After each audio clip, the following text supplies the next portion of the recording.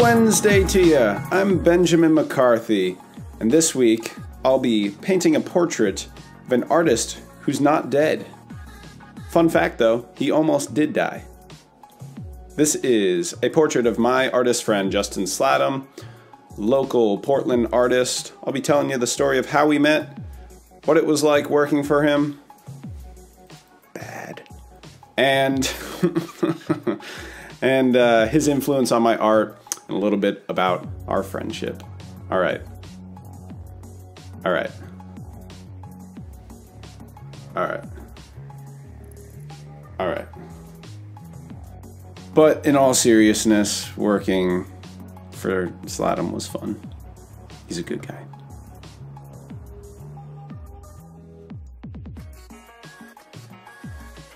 So, how did we meet? Well, I've got to back up a little bit in order to explain that. I'm actually from Massachusetts, Cape Cod, and uh, I moved out to Portland, Oregon three years ago in search of change of scenery and uh, some of the art culture here too. Um, basically, when I got over here, I had little money, and that actually led me to originally tried to peddle my band CDs on the streets of downtown Portland, and that didn't work out uh, entirely. So that led me to fall back on, I guess, something that uh, one of my greater strengths, which is visual art. Um, but like I said, I was broke, so not totally broke, but I was too broke to go spending a lot of money. So I dumpster dove for cardboard slabs, and I spent very little money on uh, red, blue, yellow, and white acrylic paint tubes. Just enough to mix up my own colors, and uh, basically, I made my own little psychedelic. Uh, cartoonish paintings, and I had a lot of fun with that. I just kind of went with the flow, and um, basically, I tried to busk those little paintings downtown at the waterfront uh, in front of the Portland Saturday Market. And so, after doing that for a little bit, uh, I saved up, got some canvases, and I painted on those canvases, and I was trying to just improve all the time. Finally, I got to the point where I really didn't know where to go with my art. And so, as I was walking through the Portland Saturday Market, uh, I met none other than this man here, Justin Slattum. I brought my canvases with me and I asked him uh, humbly, you know, how can I improve upon these? You know, I'm willing to listen to uh, any advice you have to give me because I really admire your artwork. And he told me uh, he, it only took him about a second to look at them. He said, Oh, these are really good. He was uh, super super kind and not stuck up uh, like a lot of artists who kind of get a big head. And he just told me simply uh, take out the black from your paintings and start mixing your own black. And that was like a huge revelation. I uh, realized that, yeah, the painting's going to look so much more rich if I'm mixing a very dark blue or a very dark red or uh, something that reads as almost black but still has that rich color to it. So that was a huge uh, quantum leap there in my artwork. It revolutionized uh, how I painted, and from there I just uh, I studied Justin's work. Uh, it was it was this hyper focus on um, you know learn all I can from this guy uh, because this is I'm truly fortunate to be interacting with him in the first place. Um, so I, you know, in my own time, I would look at his paintings on his website and I would just study them intently. And, uh, you know, he continued to give me great advice. Uh, I would come back week after week and say, hey, here's my new painting. Uh, what do you think I can do to this? And he would tell me, uh, you know, it's a little bit busy or something, you know, try and um, dwindle down the composition or, um, you know, you just gave me good tips on color and composition and um, subject matter too. Really, it's not like the guy ever told me what to paint. Um, he just gave me a great bit of advice. He said, "Get in touch with your what you loved as a kid," and uh, from what I understand, that's sort of the rule he abides by. Um, is just uh, basically do do what makes you feel happy, and it'll show.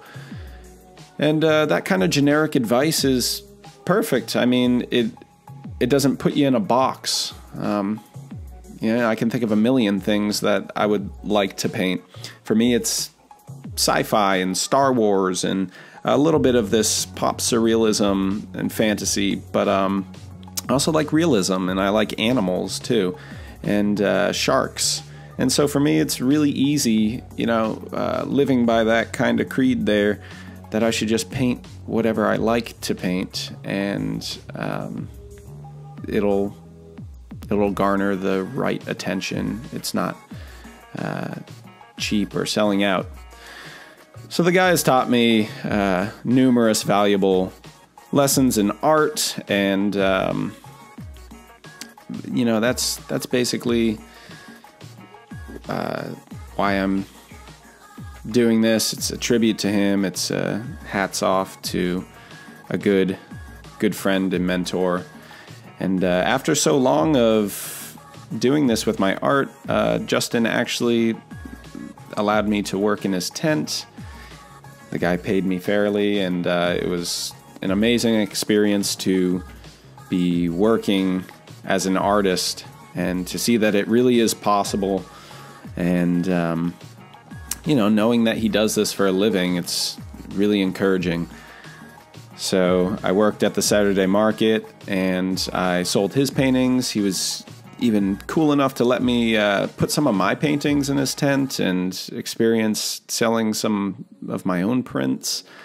And uh, that whole experience there was just super, super beneficial to me. And um, yeah, I just uh, just got to say thank you.